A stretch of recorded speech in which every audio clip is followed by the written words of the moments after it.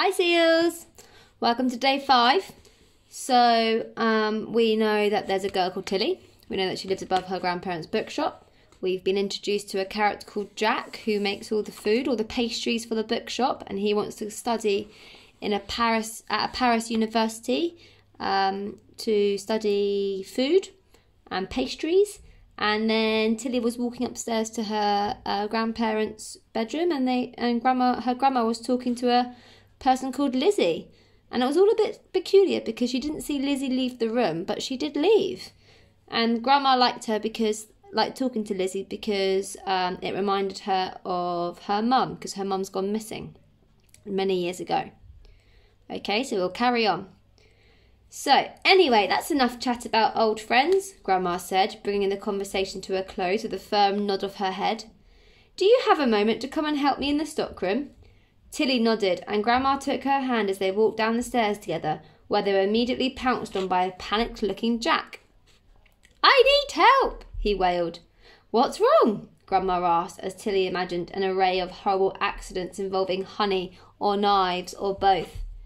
I can't find the vanilla essence, Jack shouted, making two people sitting drinking coffee eye him warily, and Alice the cat raise her head in disdain from the cushioned seat she had claimed for the morning.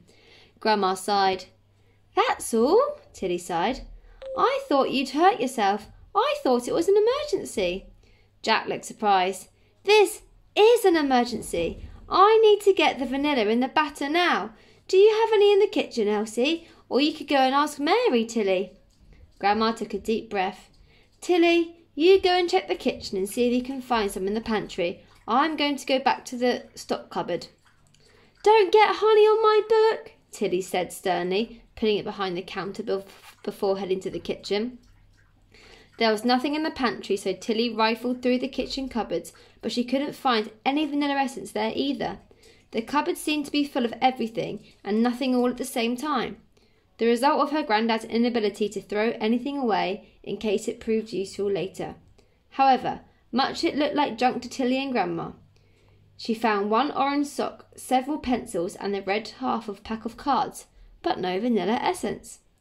And then, tucked away behind a heap of empty shoe boxes, she found a dusty cardboard box wrapped in packing tape.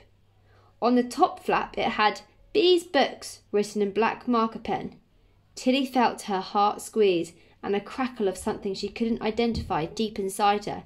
These were her mum's stories. A little picture there.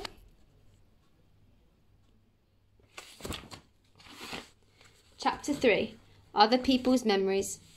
Tilly dragged the box into the kitchen and peeled off the tape, which had turned crunchy with age.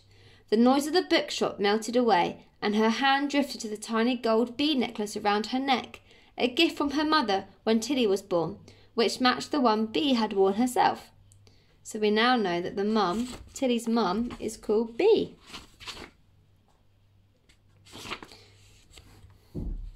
Tilly's idea of her mum was stitched together from a patchwork of old photos and other people's memories. No one knew where Beatrice Pages had gone, and this lack of facts meant that the hole her mother had left had torn, ragged edges that were slow to knit back together. Tilly had almost given up asking, but when she did, conversations about Bee's disappearance always went the same way.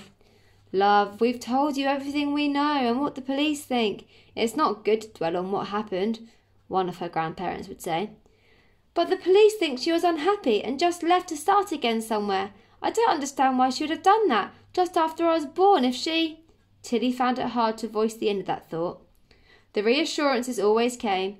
Tilly, she loved you very much we know that without any doubt at all. I don't understand why she would leave if she loved me so much. Tilly couldn't help but come back to the same question she always asked, feeling the prick of tears as she spoke.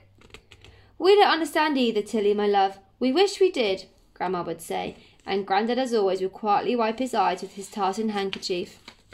Tilly pulled her mind back into the box in front of her.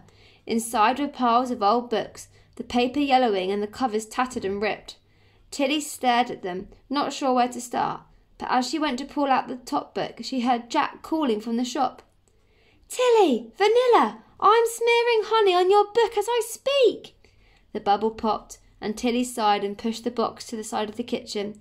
She wanted to save it until she had un- uninterrupted time to look through it properly, the way she made sure she had time to savour a new book. She went back through to Jack in the bookshop. I couldn't find any vanilla. You should ask Mary, Tilly said. Well, go on then, Jack gestured impatiently. Go and ask her. Tilly opened her mouth to make an excuse, wanting to return to the box of books, but the but, but the words weren't there. So she turned and grabbed an umbrella from by the door, but skidded on something squishy underfoot. She looked down to see a half-eaten sandwich on the wooden floor. She tutted to herself and picked it up. Honestly, who eats marmalade sandwiches? she said to herself as she threw it in the bin outside the shop and crossed the road to Crumbs, the cafe run by Mary Rue. Who do we think, what character do we know that loves marmalade sandwiches? Have a think about that. Mary and Jack had a long standing, mostly affectionate rivalry that was almost entirely one sided. Mary was always lending Jack things he was missing and offering him baking tips. The bell above the door jangled as Tilly went in. She didn't spot Mary straight away, but she noticed Oscar, Mary's son, sitting at a table at the back eating toast. A moment later, Mary's face appeared behind the counter. She was carrying a plate of cupcakes iced in pastel shades, which she handed to a couple of her a couple with a happy, gurgling baby. Mary grinned when she saw Tilly and beckoned her over once the family had sat down. What can I help you with? Mary asked. Has Jack been experimenting again?